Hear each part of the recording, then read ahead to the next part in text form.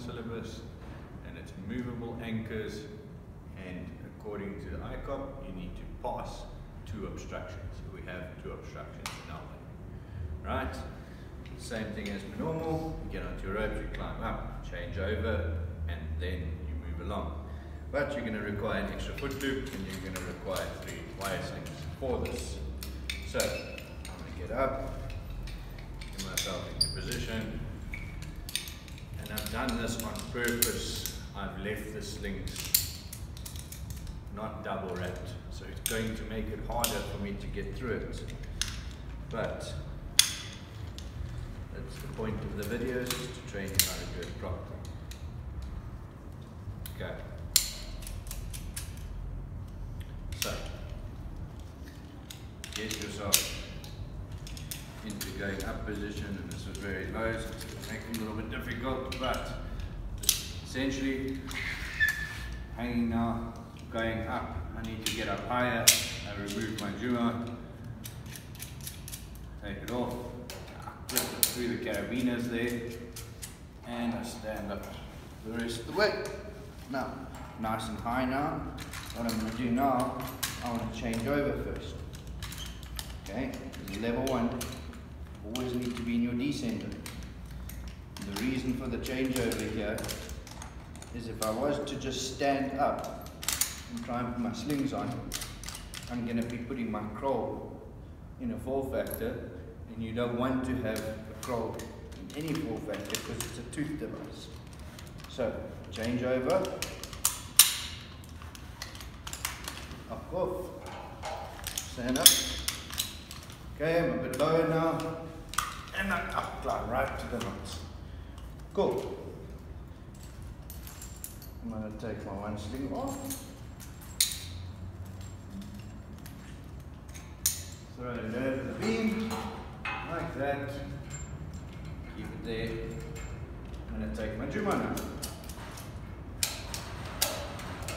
And I have created um, my first point. Take the second sling, I'll clip that one there for now. We'll get to it shortly. Throw it over. Now I'm going to get my second cowstail. Be careful here guys. This is the point where you need to move the ropes out the way so that you can make sure you are not twisted around the ropes. So you saw one cowstail is coming around this way and the other one's coming around that way. When I get off, I'm going to be stuck. Easy way to fix that, just come around the same way every single time. So, even though that cowstail looks weird now, it's in the same direction. So, get both my feet and my foot loops now. And then I'm ready for my third one, which requires the short leg. So, I clip the short leg to my D-ring over there, not the top D-ring, that's only for fall arrest and for rescuing people. Don't use it for aiding. When it goes to the bottom D-ring. Take my spare sling,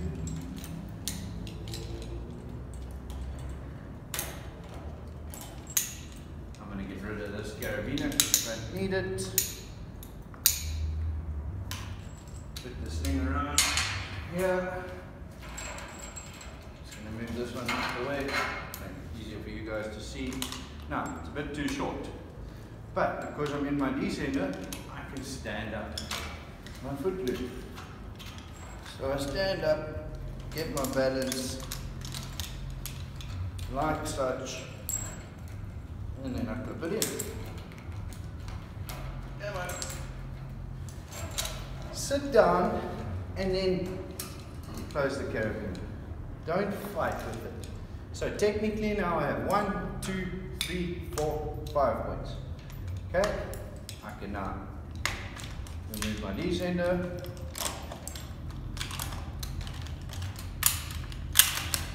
can remove my spare backup.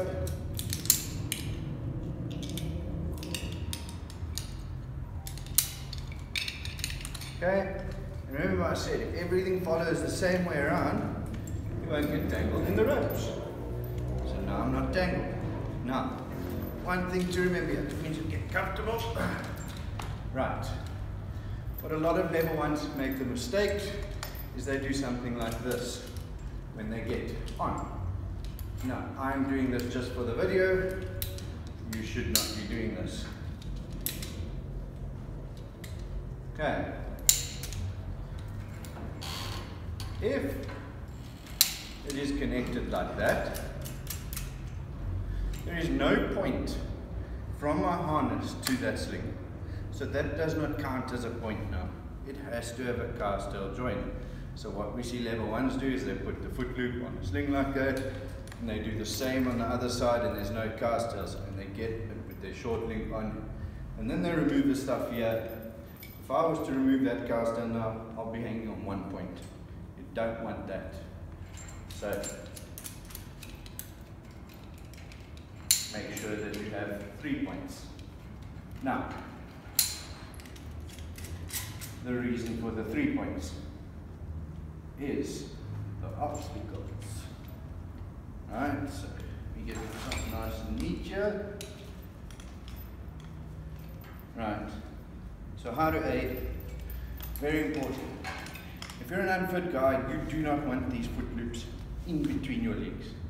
Because what happens when you stand up? Your legs want to go out.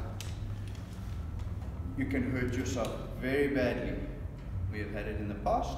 Guys dislocated his knee doing it. So you don't want to do that. You want your legs on the inside of the foot loops. So when you stand up, the foot loops actually stop your legs from going out now. Right?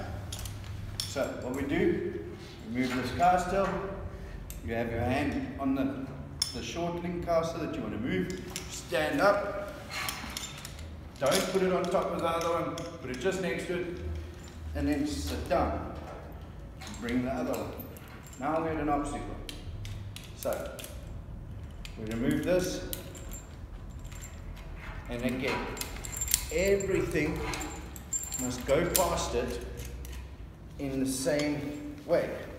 So if I brought this one around the back, everything's going to come around the back. In the past, what we used to do, stand up, take this one off, put it past and try and reconnect it. Very difficult, especially for a new level one that hasn't know how to do this. So we made it a little bit easier. What we do, undo this carabiner, stand up, get your balance, remove it, and then clip it in to that sling. Now, don't confuse this as two points. It's not. It's one point. And the reason why it's one point is because it's only one sling. So, I take this sling now, I put that one there, take the foot loop, and I clip it back in. Okay? And then I move up a little bit just to give myself some space so that when I take this one off,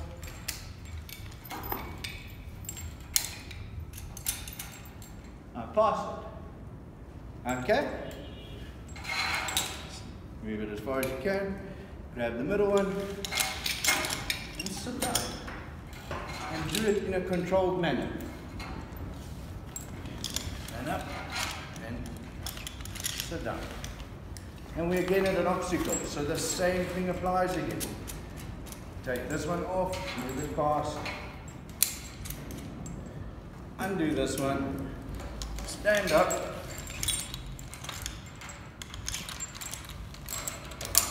flip it in, sit down, and close the carabiner. Bring that thing over,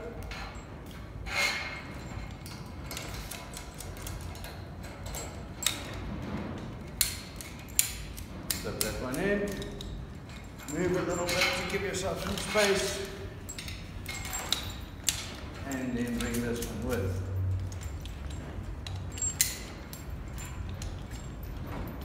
And you have passed two obstacles. As you can see, I've remained on two points at all times. I required the third point to move past the obstacle every time. Okay, okay. So we passed our obstacles. Now we need to move to getting back onto a set of ropes to coming down.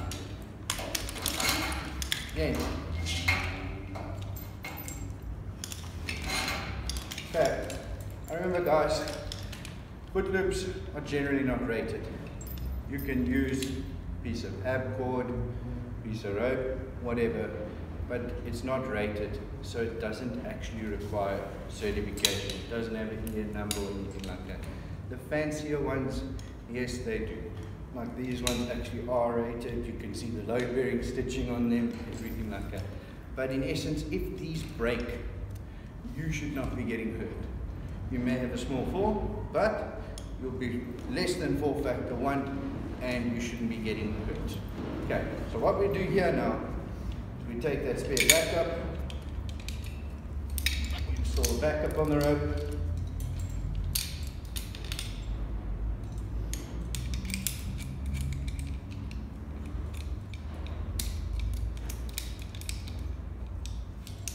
take our descender,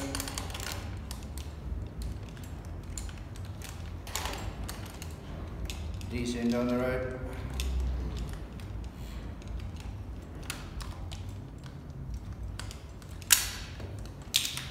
That all slack. Cool. I'm going to take this one off and I'm going to clip it back there.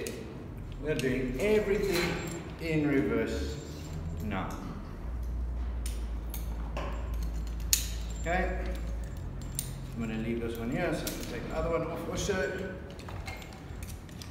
As you can see, the last thing I'm taking off is my short link.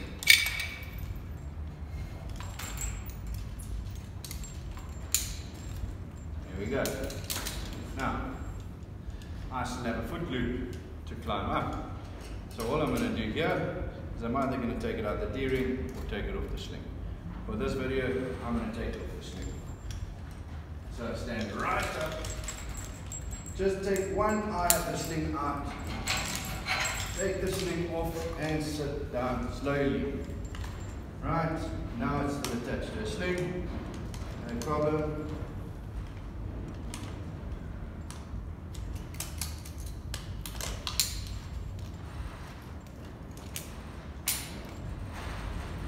Pack the stuff away so it can look nice and pretty. move this cowstail because if you D6, you're going to get stuck. Alright, now I'm in D6 mode and I can come. Thank you for watching.